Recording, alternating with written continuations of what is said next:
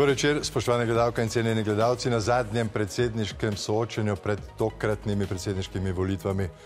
In dober večer, seveda obema, ki se za to funkcijo to pot potegujete. Dober večer.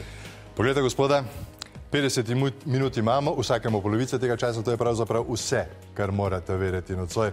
Vas, spoštovane gledalke in gledalci, pa seveda vabim, da skrbno prisluhnete temu, kar boste gospoda povedali, kajti že če 36 ur boste odločali in na koncu tudi odločili. Od ponedeljka sem sem ustrajno premetaval tako vprašanj eh, za nocoj. In še popodne sem bil prepričan, da bomo začeli s podatkom, da je Slovenija ponovno zdrknila v recesijo. V zadnjem tretjem tričetrtletju je podatek za bruto domači proizvod minus 3,3 odstotka.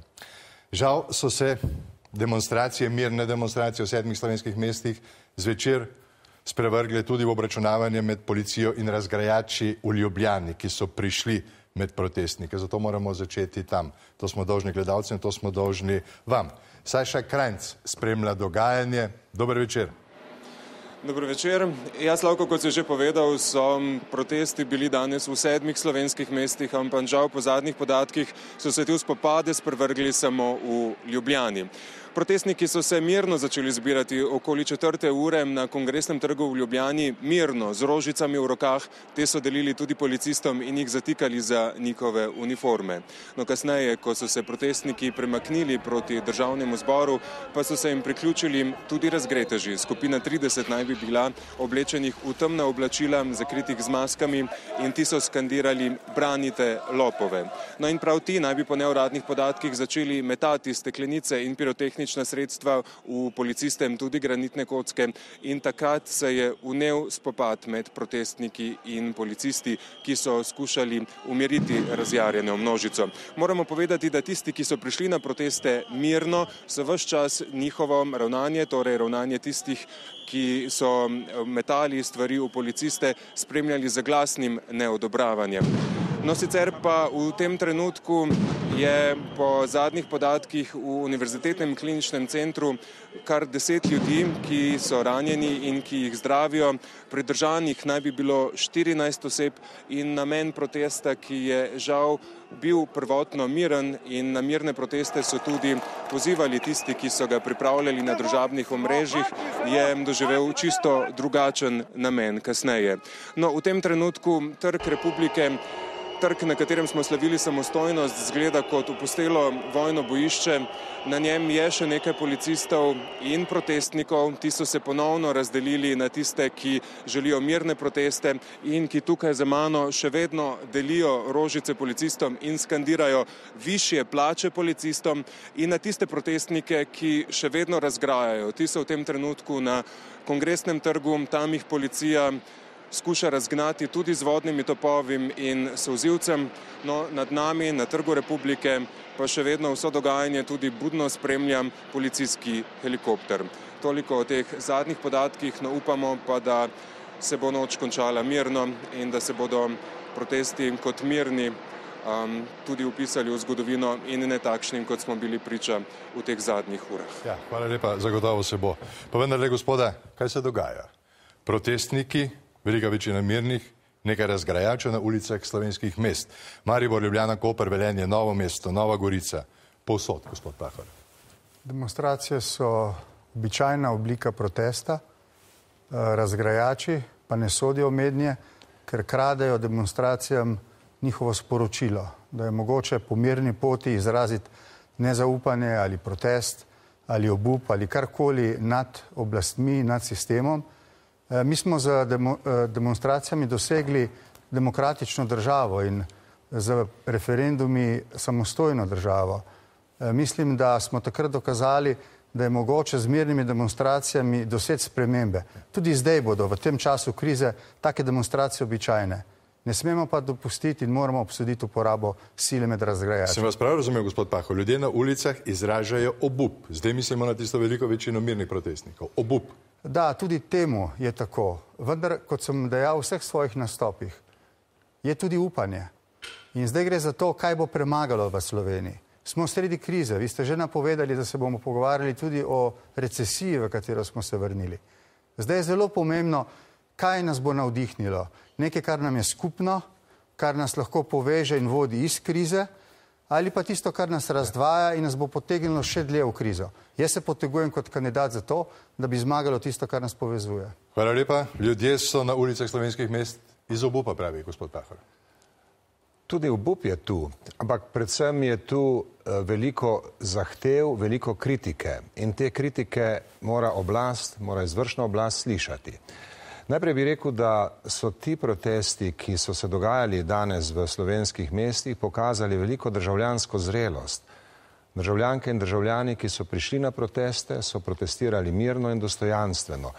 Seveda, prišlo je do provokacij, je, prišle so skupine provokatorjev in te skupine je treba izolirati.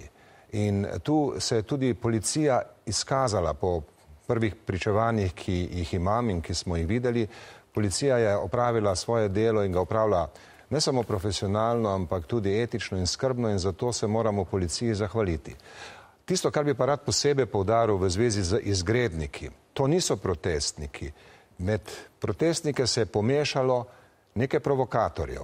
Treba bo natančno pogledati, kdo so ti ljudje, ker niso prvič na sceni. Jaz sem lansko leto v nekih podobnih razgrajanjih, ki pa niso bila še nasilna, prosil vlado, da preuči, kako je s temi neonacističnimi skupinami in nekaterimi drugimi ekstremističnimi skupinami. Sveda, preiskava še ni narejena in mi ne vemo, kdo je vse bil danes na trgu, na kongresnem trgu v Ljubljani. Ampak zauzel bi se za to, da se zdaj te preiskave naredijo temeljito do konca in da se točno ugotovi, kdo so ti ljudje, ki prihajajo in sejejo nemir in kvarijo te, te proteste, ki so legitimni, ki so pričakovani in ki predvsem postavljajo zahteve do oblasti. Poglejte, z vandali bo opravila policija. S tem, to sem prepričan, s tem ne kaže izgubljati časa. Bolj me zanimajo tisti deset tisoči, ki protestirajo. Seveda. Gospoda, vidva zdaj govorite z pozicije nekoga tretjega, ampak vi ste bili predsednik države, vi ste bili pa premije. Tako je. Tudi vidva sta torej odgovorna za nerešitev nekaterih osnovnih problemov v tej državi. Tako je. Zakaj jih niste rešila? Zakaj jih niste pomagali rešiti, gospod Turk? Jaz sem veliko krat dajal predloge in opozarjal kot predsednik republike, ki seveda izvršnih pooblastil nima. Ampak ko je začela kriza postajati takšna, da se je pokazalo, da je vlada na napačni poti, kar je bilo v zadnjem letu vlade gospoda Pahorja, sem dajal številne predloge, kako bi šli naprej. In tudi v letošnjem letu sem jih dajal. Sveda se mnogokrat moje pripombe, moje kritike moji predlogi niso slišali. Kdo vas ni slišal, gospod Pahor oblast, ali predsednik sedanje ja, vlade? Ja, poglejte, to je za izvršno oblast kar precej značilno. Predsednika republike se pogosto tudi ignorira. In sveda, to se je dogajalo. Jaz ne trdim, da bi vsi moji predlogi bili uspešni, ampak hočem povedati, da seveda se čutim soodgovornega tako kot vsi, ki smo na odgovornih mestih v tej državi. Ampak ni točno, da ne bi dajal predlogu, da se ne bi zavzemal za rešitve, da ne bi dajal pobud. Vsega tega je bilo. Ja, očitno ste bili pretihi ali pa vas ljudje na drugi strani niste slišali. Ste slišali gospoda Terka? Mm, slišal sem gospoda Terka in slišal sem tudi tiste številne protestnike. Recimo, da dam en primer, ki so na Gregorčičevi na moj predlog in predlog ministra Lahovnika, da gre Mura, takrat, tako kot je bila v stečaj, protestirali in nas uh, zmerali, da smo lopovi. To je bilo težko prenašati. Vendar smo morali to prenesti, ker je bil gnev ljudi iskren. Bali so se, da bo ugasnilo eno veliko prekmursko podjetje, ki je nudilo toliko kruha. Vendar so z ministrom Lahovnikom in vsem, ki smo reševali, potem z eh, direktorjem Starmanom, vedeli, kaj želimo in smo ta problem tudi rešili. In moram reči, da veliko ljudi, ki je na Gregorčičevi takrat kričalo, da smo lopovi, je prišlo takrat, ko smo odpirali novo muro, ki je znova dala 1500 in več delovnih mest, in rekli, da takrat niso verjeli, da nam bo uspelo, pa smo s tem primerom pokazali, da kakšenkrat kakšen problem tudi rešimo. Gospod Pahor, gospod Dirk se počuti soodgovornega, pa vi? Jaz sem to že večkrat povedal, zelo, vendar sem se iz tega tudi nekaj naučil, da ne bi ponavljal starih napak in delal novih. Tukaj nismo ne levi, ne desni, tukaj smo ogoljofani, je bilo slišati, ali je danes pisalo na lepako na teh demonstracijah. Od vsega začetka krize mi je bilo popolnoma jasno, da je občutek, družbene neenakosti, občutek uh, tega, da je nekdo privilegiran in nekdo deprivilegiran, najteže ovira za to, da bi prepričali ljudi v korake, ki so potrebni za izhod iz krize. In zdaj smo na neki prelomnici, ko se bo to zgodilo ali pa ne. Če so ti ljudje ugoljufani, pa jim ne znamo pomagati, si morajo pomagati sami na demonstracijah, potem takem ne živimo v pravni državi. V premalo pravni zagotovo, vendar pa mislim, da smo v zadnjih letih le naredili nekaj korakov naprej, zaradi katerih ljudje, ki imajo več politične in gospodarske moči, niso več v položaju, da bi nad zakonom. Izvolite. Torej, v preteklih dveh letih smo videli, kako se je sesul gradbeni sektor. Jaz sem v svojih javnih nastopih in v drugih, ob drugih priložnostih prosil in predlagal, da bi se našli tudi ukrepi in rešitve za delavce in tudi za podjetja, vključno s Primorjem, ki je bil zadnji to vrsten primer. In seveda, tu so bile zamujene nekatere priložnosti, ki so jih zamudile tako banke, kot na svoj način tudi odgovorna ministrstva in niso pomagale, da bi se podjetja in delovna mesta ohranila na način, ki bi bil zdržan in ki bi bil razvojno perspektiven. To hočem povedati kot primer, kjer se je videlo, kako so bile napake storjene.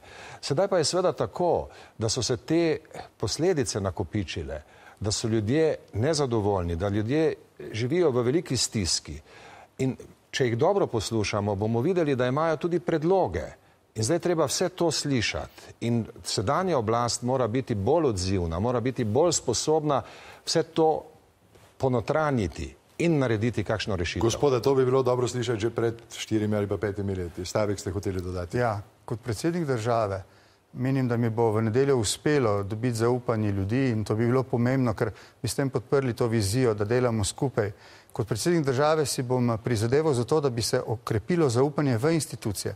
Demonstracije bodo spremljale uh, stiske in probleme ljudi in treba jih bo slišati. Ampak znotraj institucij bo treba reševati probleme. In zdi se mi, da vendarle smemo in moramo povedati ljudem, ki so danes nezadovoljni, da se v zadnjem času, v jeseni, v parlamentu nekaj temeljitega premika.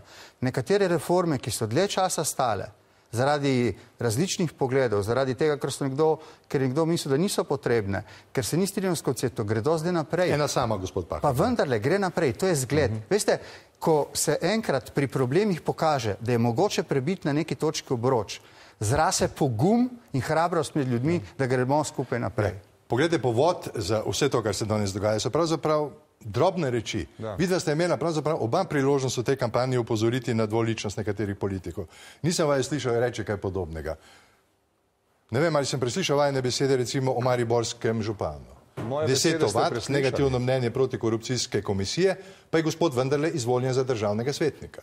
No, jaz sem to kritiziral. Takrat, ko je bil izvoljen ali prej? Takrat, ko je bila prva priložnost za to. Jaz sem ga kritiziral na soočenju v Mariboru.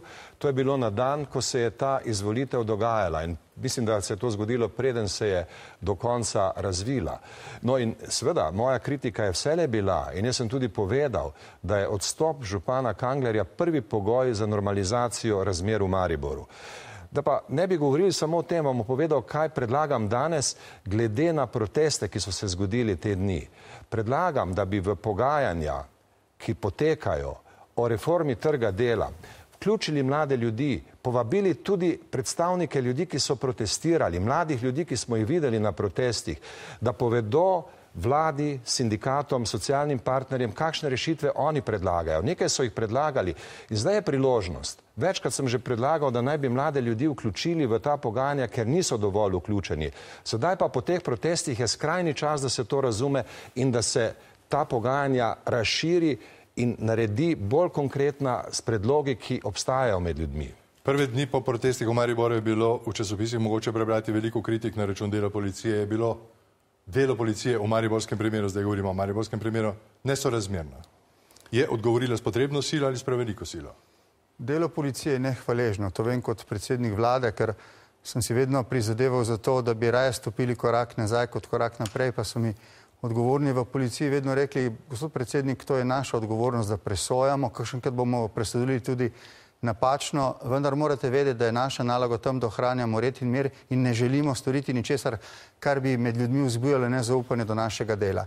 Ne verjamem, eh, da bo kako drugače kot objektivno poročilo uh, notranjega ministrstva odgovorilo, ali je bila sila prekoračena ali ne. Če bila, morajo odgovorni ravnati v skladu s tem.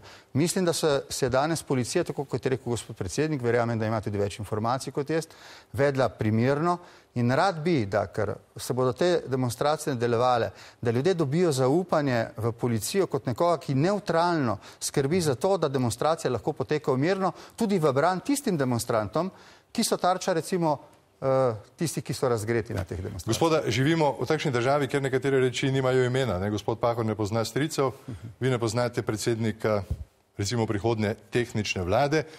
Nekateri ne preznajo ljudi v ozadju, ki da so te demonstracije organizirali zato, da bi pomagali vam. Poglejte, ta očitek je popolnoma neutemeljen. Ta očitek je treba zavrniti. Ta očitek je tudi zelo nedemokratičen. Nobene povezave ni. In ti očitki so še en primer teh diskvalifikacij, teh potikanj, ki jih po naši politiki pogosto slišimo in jaz sem ga že zavrnil in ga rad, torej želim zavrniti ponovno danes tu, na ja. teh soočenjih. Gospoda, v enem stavku vidite današnjo ustavitev dela na javnih univerzah v kontekstu teh protestov? Ne, jaz sem seznanjen s problemi na področju visokega šolstva dejansko se je vlada za zakonom, ki sem mu nasprotoval, odločila, da znaten del sredstev univerzam vzame, s tem je pravzaprav ohromljeno njihovo normalno delo, to ni dobro in jaz si bom prizadeval, da bi se v rebalansu proračuna vlada pogumne odločila, da investira tudi tja, kjer ni hitro viden ta obrat političnega kapitala, je pa potreben za družbo znanja. Ali da ne vzame tam. Ja. Tako. Ne. Izvolite. Jaz sem te odločitve vlade že večkrat kritiziral. Vlada je letos vzela univerzi znatna sredstva in načrtuje tako početje tudi za prihodnje leto. Večkrat sem upozarjal, vlada je na napačni poti, vlada mora spremeniti smer. Če bo nadaljevala po tej poti, bo prišlo do sesutja našega visokega šolstva in to se ne sme zgoditi. Zato, kot sem to povedal v Mariboru prejšnji teden, ob raznih priložnosti, ki so bile v preteklih tednih, upam, da se bo to slišalo. Veste, pogosto se kritike te vrste enostavno ignorirajo. Tokrat pa ne smemo ignorirati teh kritik, ker če bomo ignorirali, bo prišlo do zelo resnih posledic za naše visoko šolstvo in raziskovanje. Ampak pogledajte, gospod Tirk, ne? v tej državi moramo vendarle varčevati, se strinjate? Pa to ni varčevanje, to sploh ni varčevanje. Se strinjate, da je treba varčevati? glavo poseganje ja. v javno uporabo. Je treba varčevati. Varčevati je treba, ta vlada ne varčuje. Je treba varčevati. Je treba in mi bomo investirali v visoko šolstvo samo pod pogojem, če bo prišlo ja. do političnega Prav. dogovora, da bo vlada to storila in da opozicija zaradi tega ne bo terjala nekaj, kar je nemogoče investirati nekje druge, ker se bo investiralo. Prav, gospoda, če je treba varčevati, kje pa potem vzeti? Rekli smo, kje ni mogoče vzeti. Kje pa je treba vzeti? Eh, pravzaprav je zelo malo kje še mogoče vzeti in če kje, potem bo verjetno potrebno pogledati, ali je na obramnem ministrstvu še kaj možnosti in podobnih eh, resorih. Jaz, eh, če bom izvoljen, nameravam opraviti prve, enega prvih razgovorov prav z ministrom Hojsem, da vidiva, ali je tukaj še kaj rezerve, da ne bi vzbujali lažnih upanj. Ampak nekaj takih primerov je še tisto, kar ni nepo, neposredno pomembno. Zato, da imamo uh, denar za investicije, da imamo denar za delovna mesta, da imamo denar za izobraževanje. Ja. Vse tisto je zdaj lahko predmet varčevanja. Sicer pa, ja. ne samo končam, če bomo za reformami, in zdaj smo res na dobri poti, ne smemo biti ne samo zavestni, če bomo s tem znižali ceno denarja, se bomo lahko tudi zadolžili končno za investicije v infrastrukturne podjetje. Divača, Koper, eh, Koroška cesta, tretja razvojna os, in končno uh, tunel, ki bo povezal novo mesto z Belo krajino. Gospod Pahor, dajmo pojavom imena. Rekli ste obramno ministrstvo. Še kje, konkretno? Uh, jaz sem proračune sestavljal dosti krat. Uh, vem, da je zelo težko tako na pameti, ne bi rad uh, solil pameti ministru za uh, finance. Nisem za to, da se linearno poseka. Mi smo prvi uh, sestavili programski proračun, uh, Rad bi, da pride do političnega dogovora, da se več investira v ja. znanje ja. in tehnologijo. Ne, ne, mi, ne mi, gospoda, uhajati preveč iz teme. Ne. Gospod Pahor pravi, pri obrambi ja. bi bilo mogoče preveriti, ali Recimo, je še mogoče primera, stisniti. Kaj pravite vi, gospod Terk? Jaz pravim, da je vaše izhodišče napačno, da je izhodišče za varčevanje postopnost, da je izhodišče za varčevanje daljše obdobje, v katerem bomo zniževali proračunski primankljaj, da je bila narejena lansko leto napaka, ker se je pristalo na preveliko znižanje proračunskega primankljaja v prekratkem obdobju in da se da proračun uravnoteževati na daljše obdobje z boljšo uravnotežitvijo odhodkov in prihodkov. Vaše izhodišče je v osnovi napačno. Gospod Tirk. Zato, ne, ne, gledajte, tu imamo zelo tehtna razmišljanja in tehtne kritike Mednarodnega denarnega sklada, ki kritizirajo Evropsko unijo in to vrstno odločanje. In zdaj, mislim, da je zdaj prilika, da se Slovenija tej kritiki pridruži, da zauzame bolj postopen pristop. Mi smo država, ki je iz gradualizma naredila zgodbo o uspehu, zdaj smo ga opustili in namesto, da bi imeli postopnost, smo šli v globoke reze, ki nam bodo naredili škodo. Tu je treba začeti. Ampak pogledajte, gospod Jerk, države v Evropski uniji si denar v tem trenutku sposojajo po 2 ali 3 odstotke. Slovenija si ga sposoja za 10, po 10 odstotni obrestni meri. To ni res. 5,2 do 5,5. Poglejte si dnevne, eh, dnevne podatke o tem, kako se gibljajo cene, kako se giblje cena denarja. Ravno v zadnjih dneh so cene padle in celo slovenska tiskovna agencija vam je o tem poročala. Ja, dodatno se torej lahko zadolžimo, pa če je obrestna mera, govorite zdaj o desetletnih obveznicah, 5,5 in nekaj odstotka. Seveda, govorimo o 5,5 5 do 5,5, kar pomeni, da smo 4 odstotke nad tisto stopnjo, s katero se država se še lahko zadolži. Ta država se bo še lahko zadolževala in ne sejmo panike okrog tega. Poskušajmo narediti bolj postopen pristop k tem stvarem. V tem je, v tem je rešitev. No, in seveda vam... bomo našli tudi rezerve v kakšnih ministrstvih. In jaz sem za to, da civilni del obramnega ministrstva pogledamo še enkrat. Ampak iluzija je misliti, da bomo s takimi rezi rešili problem. Problem se bo reševal drugače in seveda bo treba imeti tudi bolj sistematično urejeno davčno politiko, ki je ta čas popolna improvizacija. Zato, ko govorimo o varčevanju, dajmo se najprej pošteno dogovoriti, kaj varčevanje v resnici je. Varčevanje je postopnost, varčevanje je v tem, da se pogleda tudi prihodke in varčevanje je v tem, da se ne seje panike. No, ampak, ja, gospod Čirek, smem... varčevanje je ne z povečati prihodke in zmanjšati stroške. Ja, seveda, oboje moramo gledati. Gledajte, eh, če bomo pokazali ambicioznost pri uh, dosegi ciljev, ne samo pri zastavitvi. In to je recimo, da pridemo po 3% primankljaja v proračunu. To je ambiciozno. Morda kakšen uh, odstotek uh, manj ali več, ampak okrog treh. Potem bomo skupaj z reformami, ki jih bomo uveljavili, dosegli nižji pribitek na obrestno mero. S tem bo denar cenejši. S tem se bomo lahko zadolžili, s tem bomo lahko investirali in šli v državne infrastrukturne projekte. Drugi ver je pa tuj kapital. Mi smo še vedno za tuj kapital zelo nedostopna država.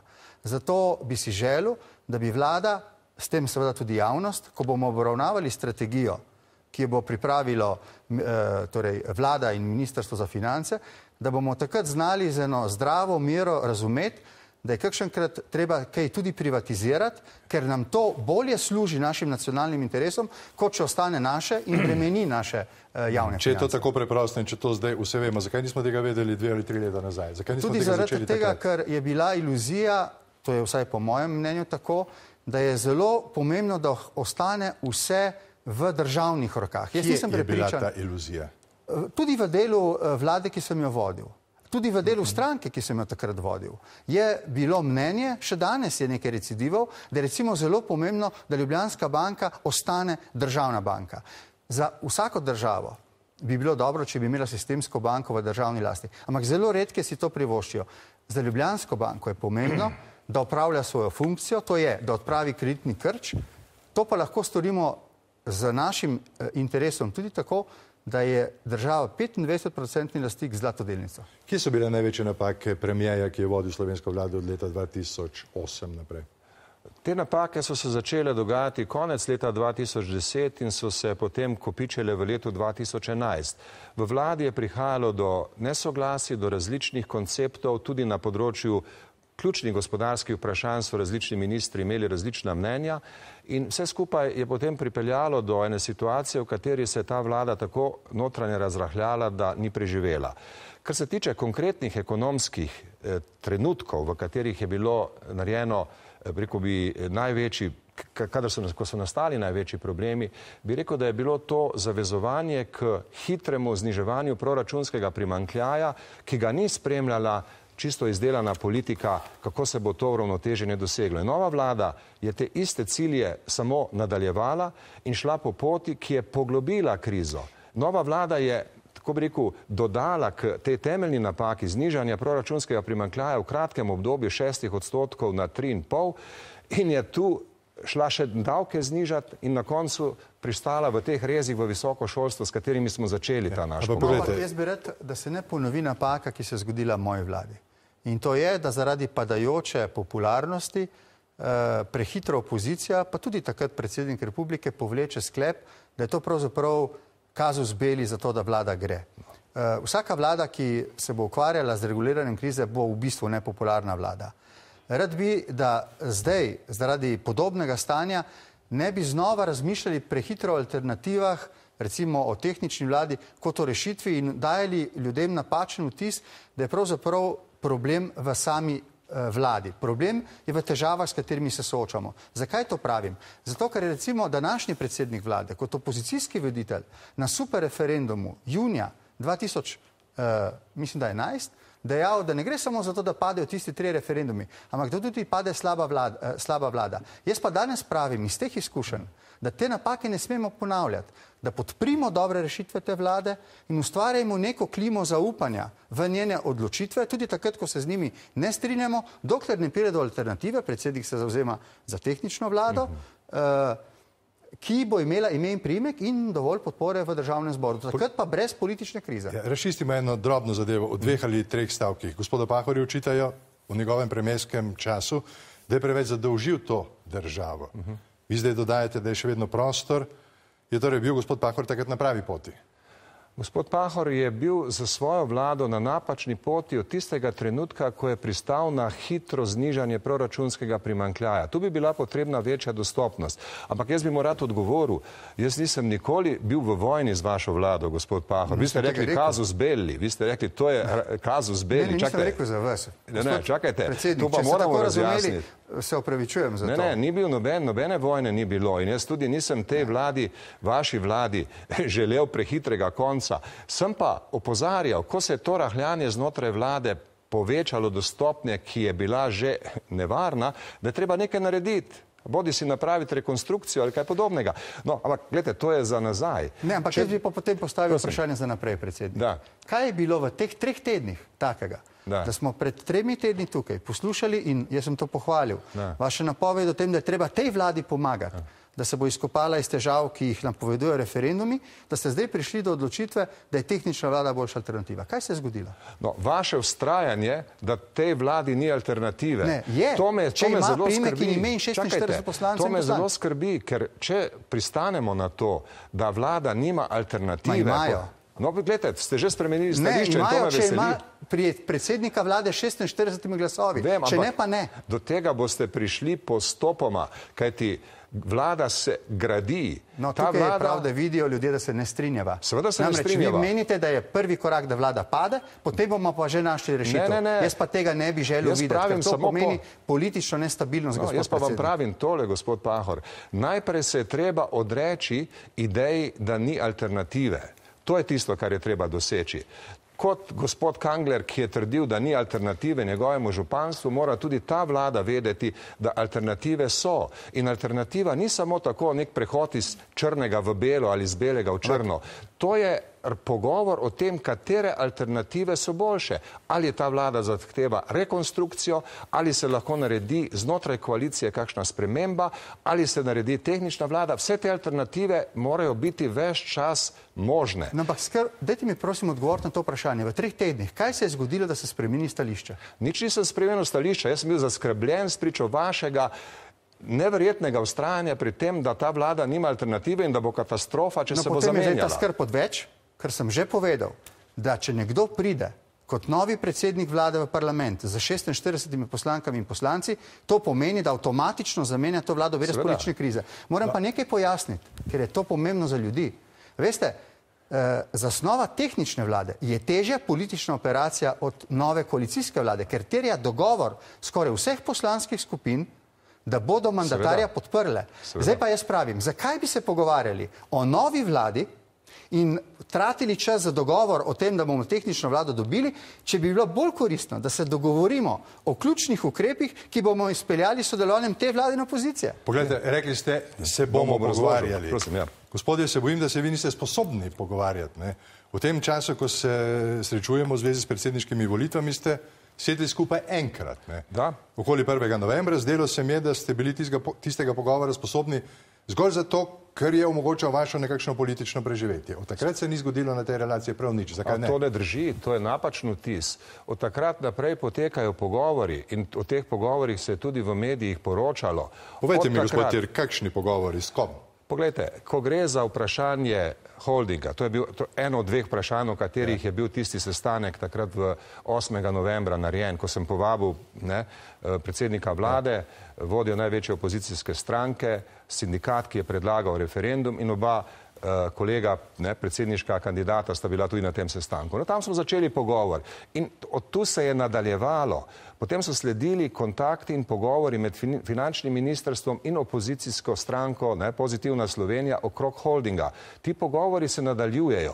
In zdaj, ko je državni zbor sprejel odločitev, da bo zaprosil ustavno sodišče za mnenje o ustavnosti teh referendumov, seveda ti pogovori ne morejo, ne, se ne morejo normalno nadaljevati, ampak ko bo ustavno sodišče razsodilo, če bo dovolilo te referendume, se bodo pogovori nadaljevali, ker so tekli vsta čas in tudi v medijih se je poročalo. V tem, tem trenutku so v zraku trije referendumi, ravno tako, kot so bili 1. novembra. Ne? Seveda, ustavno sodišče, oprostite, ampak državni zbor je ustavnemu sodišču postavil vprašanje z ustavnosti teh referendumov. In zdaj seveda ustavno sodišče mora v približno enem mesecu odgovoriti.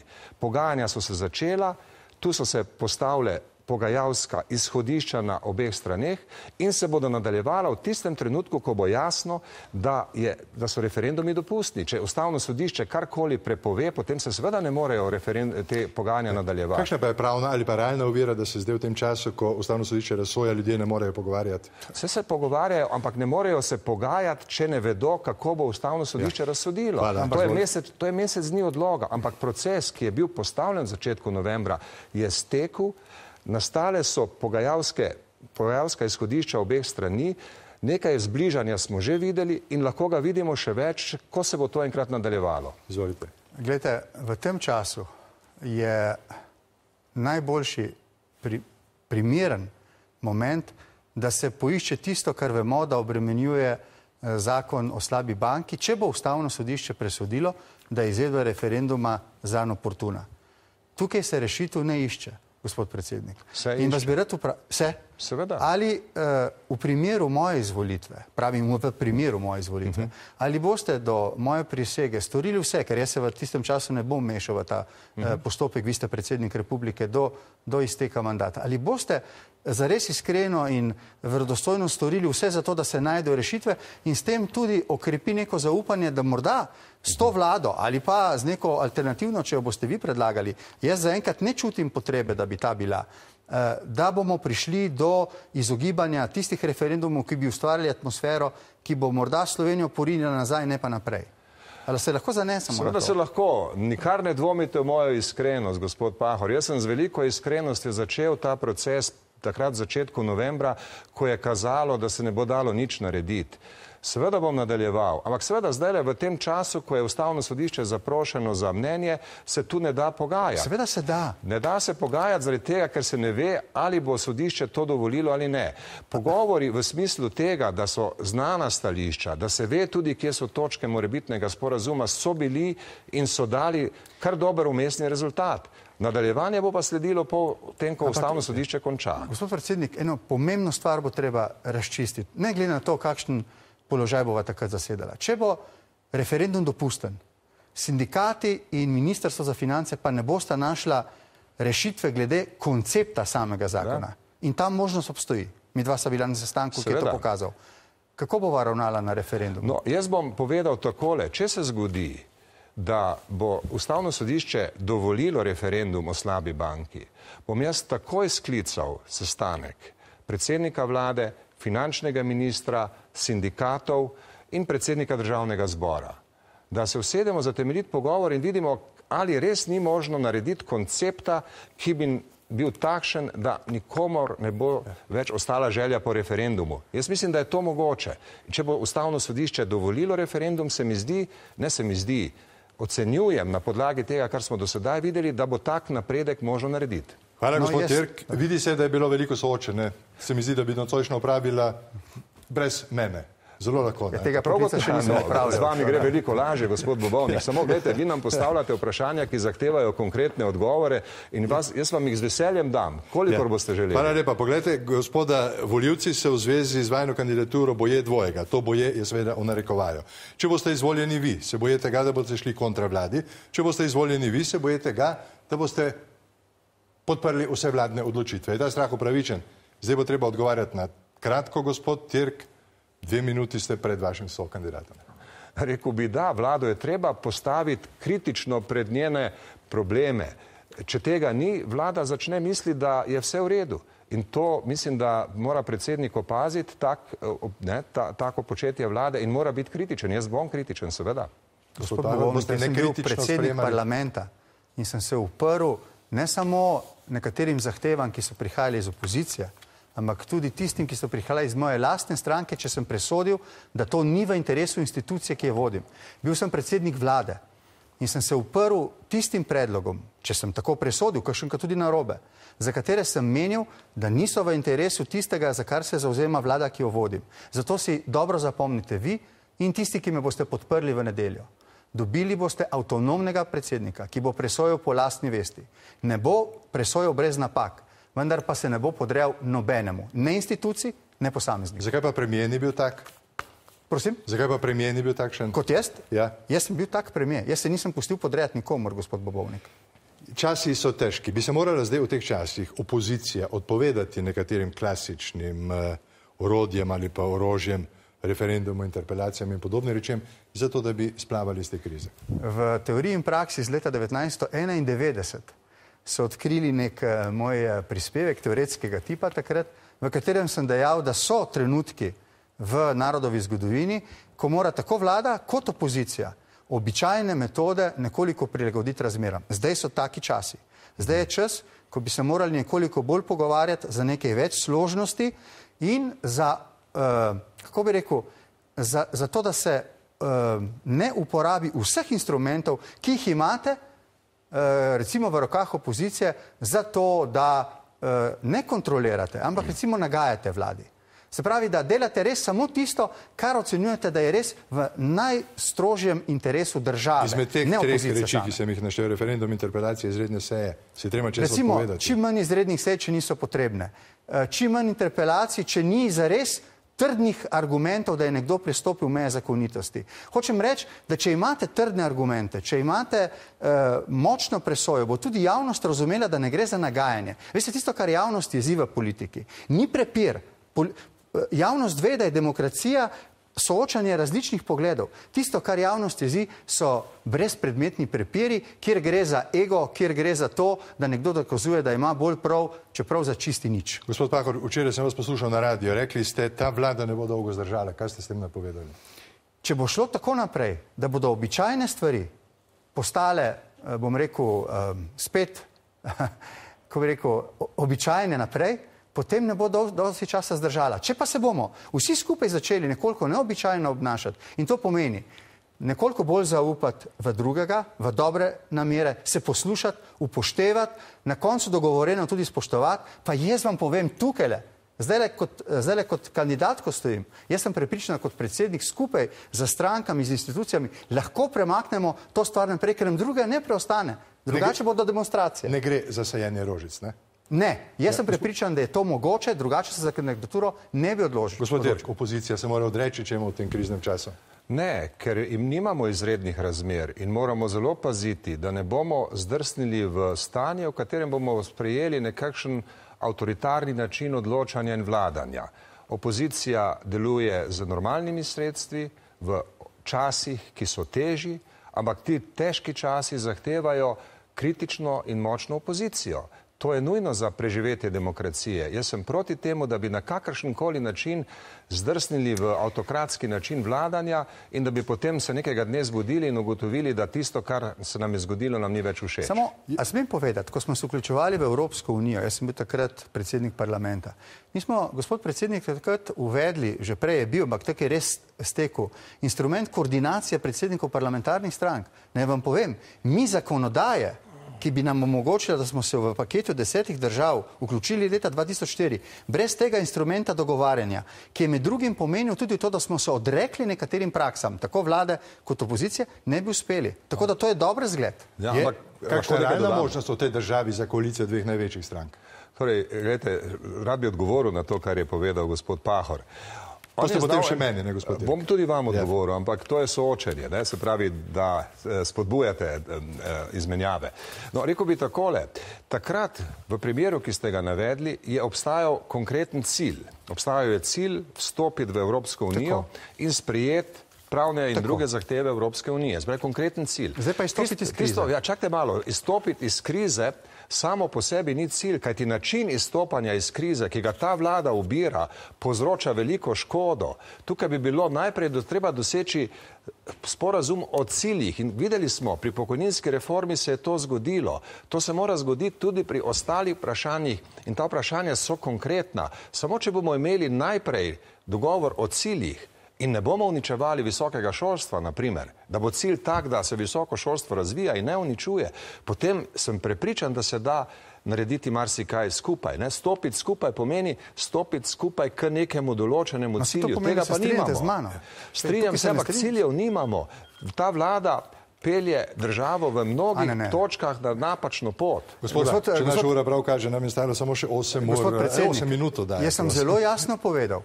Jaz se zauzemam za politični dogovor parlamentarnih strank, ki ne bo nadgrajen socialnim dialogom, o ukrepih za izhod iz krize. Ne kar politična enotnost, kar tako. O ukrepih za izhod iz krize. No, vi ste govorili o treh zelo splošnih rečeh. Ko se govori o ukrepih, to pomeni seveda tudi recimo proračun. Seveda. Ne? Proračunskega koncepta ni. Proračunski, proračun je dan danes improvizacija, to nam je ravno kar povedal tudi mednarodni denarni sklad. Prav, Postavite gospode. mi prosim še tisto vprašanje, da ne bo ostalo neodgovorjeno. Je tudi meni ušlo iz glave, gospod Tirk. no, vidite. Ja. Ste rekli, da boste hitro odgovorili, pa niste. Poglejte, naredimo velik eh, korak naprej zunanja politika. Oba sta nedavno tega dejala, da si palestinci zaslužijo svojo državo. Mm -hmm. Zdaj se je to v generalni skupščini nekako naredilo brez Slovenije.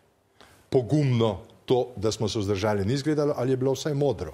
Postavek, prosim. No, Evropska unija tukaj ni imela nikoli enotne politike, uh, tudi niso države Evropske unije ravnale enako in so bile pri tem razdeljene. Jaz, kot, in to povem na glas, kot nekdo, ki je velik pristaš judovske države, razumem, uh, kako bi rekel, korenine, iz katerih je nastala, sem bil hkrati tudi, ko sem bil na zadnjem obisku pri Benjaminu Netanjahu v Izraelu, dejal, da si židje zaslužijo mir za palestinci, palestinci pa enake sanje njihovih otrok o mirni bodočnosti in da je priznanje države verjetno edina pot. Fino bi pa bilo, če bi prej dosegli ja. dvostranski sporozum o tem. In ga niso, žal. Slovenija je ravnala prav, ko se je vzdržala na glasovanju? E, jaz bi podprl. Gospod Slovenija ni ravnala prav, naredila je napako. Večina članic Evropske unije je glasovala za Palestino. 14 držav je bilo, med njimi ne, naprimer vse skandinavske države, Švedska, Danska, Finska. Mi smo tukaj naredili napako z tem vzdržanjem in žal mi je, da vlada ni šla po poti, ki jo je predlagal državni zbor oziroma odbor, njegov odbor za zunanjo politiko, ki je rekel, če bo večina držav članic Evropske unije za, bodimo tudi mi. To se ni zgodilo in to je bila napaka. Bomo storili podobno napako, če bomo med zadnjimi ratificirali pristopno pogodbo z južno sosedo Hrvaško? Mislim, da bi tudi to bila napaka, ampak nismo še tako daleč. Poglejmo, kaj bo vlada naredila prej. No, ko opozarjam na posledice morebitne politične krize, moram zdaj ob vašem vprašanju posebej povdariti. Če bi do nje prišlo, bo zazevala velika nevarnost, da ne bo dvotretinske večine za ratifikacijo pristopne pogodbe. V tem primeru se bo Slovenija v vseh drugih težavah, ki jih ima, znašla še ponovno v težavi s tem, da jo mednarodna skupnost ne bo razumela, da bo med zadnjimi, če sploh ratificirala ta sporozum. Mi pa to rabimo zaradi našega ugleda na Zahodnem Balkanu, kjer je še vedno zelo visok in ko govorijo o Sloveniji v Evropski uniji, govorijo eh, recimo z občudovanjem, če smem reči, toliko uh, o njej, kolikor ima še vedno uh, zgleden uh, pomen na uh, tem področju. Koncu se bližamo. Ja, povejte mi, prosim, gospod Tir, kandidirate z podporo državljanov, seveda, ampak med političnimi strankami je vaša največja podpornica pozitivna Slovenija. Družini Jankovič se dogajajo nekatere, nekateri pravosodni postopki. Zadnje dni, zadnje tedne je to še željena podpora? Družina Jankovič je enaka pred zakonom kot vse druge družine in vsi ljudje morajo svoje dolgove izpolnjevati. In tu ni čisto nobenih dvomov. Ne? In to strajam, pri tem strajam, to sem večkrat povdaril, vsi so enaki pred zakonom, vsi morajo svoje obveznosti izpolnjevati in to velja tudi za družino Jankovič. Pri vas, gospod Pahor, ne razumem, kako ste lahko zakopala, pa tudi ni moje, da bi razumel, bojno sekiro s predsednikom vaše stranke, ne? nekatere njegove izjave iz zadnjih dni. Če Pahor ostane v SD, v SD, ne v stranki, ne v državi ne bo sprememb. Pahor je kandidat za vse funkcije, ki so odprte. Nima drugega programa, kot je vzbujanje pozornosti in tako naprej. To je, mislite, govoril, ko smo se pogovarjali za položaj. In uh, je odgovoren za te besede in sem jih razumel takrat. Tako kot jih razumem danes, ko z enako vnemo opozarja, da eno je biti predsednik stranke in voditi levo-sredinsko stranko, drugo pa biti predsednik vseh državljank in državljanov in mislim, da Igor prav presoja, ko mi daje neke karakternih značilnosti, ki grejo v tem primeru bolj v prid tega, da se postavim v položaj, eh, ki mi karakterno leži, to je, da poskušam biti pre predsednik vseh, kot zdaj po njegovi politični oceni predsednik socialdemokratov, ki je po njegovem mnenju preveč morda eh, razumevajoč do nekaterih liberalnih ukrepov vlade. Takšni stavki pa seveda niso načeli tega vajnega sodelovanja, ne načenjajo. Veste, jaz sem v politiki na nek način obdržal nek, eh, neko spoštovanje tekmecev za to, ker nekaterih njihovih izjav, ki bi me lahko užalile, nisem vzel tako zelo zares, kot bi oni vzeli moje. Zdaj mi boste dvakrat odgovorili, gospod Terk, da ali ne, če le mogoče vas zanima mesto predsednika pozitivne Slovenije, če vam na tokratni predsedniški tekmi ne uspe? Ne. Vas zanima mesto predsednika vlade, recimo? Ne. Gospod eh, Pahor, če se vam to pot eh, ne izide, katera bo naslednja funkcija, za katero se boste potegovali? Uh, imam razmisleke o svoji prihodnosti, vendar vam pa moram reči, no, nočem biti vreževeren vendar imam ta hip premočno slutnjo, da bom postal četrti predsednik Republike Slovenije in ta hip v mislih številne načrte, ki so povezani. Če boste to postali, bo se gospod Vetirka, če bo izrazil to željo, če bo potreba postali v OZN za predstavnika Slovenije? Mm, gospod Tirk je predsednik Republike Slovenije. Ne verjamem, da bi se odločil za to, da bi opravljal veleposlaniški položaj. Če bi tako izrazil željo, mislim, da bi užival podporo prav vseh, vendar mislim, da se svojim ugledom omogočil tudi kakšno drugo možnost. Če boste predsednik, bi gospoda Pahorja še enkrat predlagali za mandatarja? O tem bi resno razmislil. Kaj bi vas predsednik je res ne usmiljen? Prosim, kaj bi vas vodilo pri tem resnem razmisleku? Ja, vodilo bi me vprašanje, kakšen profil predsednika vlade v danem trenutku potrebuje Republika Slovenija.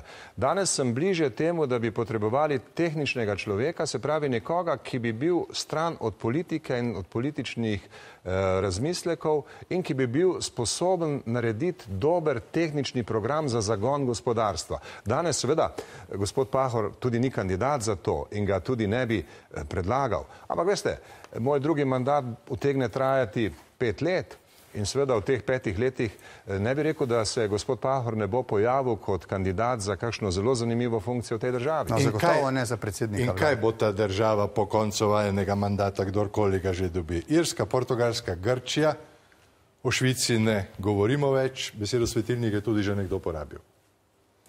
Jaz mislim, da smo zdaj dejansko na neki prelomnici. Želim, da ljudje v nedeljo ne gredo in glasujejo za me kot Borta Pahora, rojenega 2.11. Tudi zato, eh, če verjamejo v mojo osebno integriteto. Ampak rad bi jih naprosil, da podprejo vizijo, ki bo obvezovala slovensko politiko k sodelovanju, k složnosti, k temu, da se gradi na skupnem. Če bodo ljudje poslali v nedeljo ta močen signal, bo obveza za celotno slovensko politiko in tudi za me. Ne bomo Grčija. Ne. Kaj bomo, gospod Irk? Mi bomo Republika Slovenija, demokratična država, kjer se spoštujejo človekove pravice, kjer bom kot predsednik republike in kot vrhovni poveljnik obramnih sil še naprej ponosen na naše obramne sile, kjer mi ne bo treba izdajati ukazov in kjer bom lahko kot danes popolnoma zaupal v naše obramne sile, ki bodo spoštovale človekove pravice, in demokracijo v tej državi. Govorimo o elementarnih aspektih demokracije, ki jih bomo obranili. In seveda bomo tudi uspešnejša država, ker bomo v tem času krizo premagali in bomo znali kultivirati naš razvoj. Dobro, štiri sekunde je ostalo razlike med nami. Hvala lepa, gospode, to pot sem se izjemno uštel. Ali pa ste se uštela vidva v odgovori. Hvala lepa, 48 ur imamo zdaj miru, da razmislimo o tem. Vas, spoštovane gledalke in gledalci, pa vabim v nedeljo ob 19. boste slišali, kdo od gospodov bo postal predsednik države Slovenije. Pripravili smo usporedne volitve in kot rečeno, rezultati bodo objavljeni ob 19. uri v nedeljo. Gospoda, hvala lepa, da ste pojasnjevala. Vam hvala lepa za pozornost. Dobro.